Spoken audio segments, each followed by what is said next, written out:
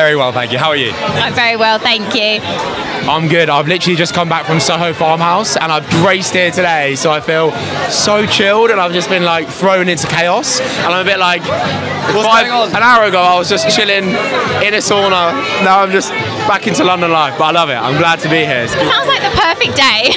I mean, it's, it's a mix of both, right? Like, yeah, and I like it. I'm enjoying it. So, yeah. you both look great. Thank you. Do you? thank you. Do you always uh, do you plan what you're wearing with each other?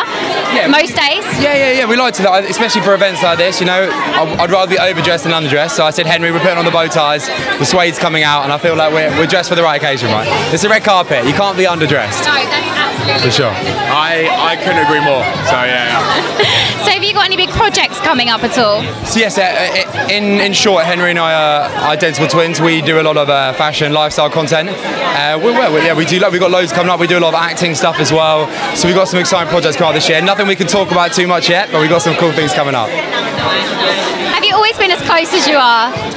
So we've um, known each other and been in the well, we were, we were in the same womb as each other for nine months.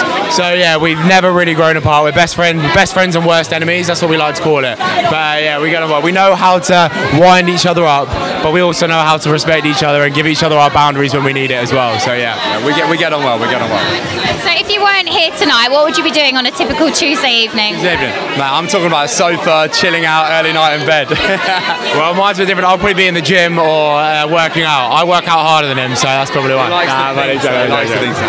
No, we're pretty, we're, we're pretty laid back, chill guys. Like, you know, we, we have a good time when we want to, but at the moment we're working very hard. So Yeah. chilling out a lot, not going out too we much. We need that. Time, we need that time of just chilling out now. I think the older you get, you always get to a time where you're like, you know what? I just want to sit in front of the sofa and watch some TV. Sometimes it's just nice, and just have no one ask me questions like you. No, I'm joking. And we just want to absolutely chill out. It's just always. What about you? What would you be doing on a Tuesday night then?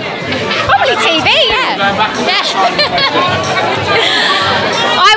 I would probably be prepping for my next interview. There we go. Yeah. So working, working. Well, there we go. So we'll be working in editing as well. So same thing, right? Same thing, same thing, same thing. But we love that. We love that. Are you looking forward to the movie tonight?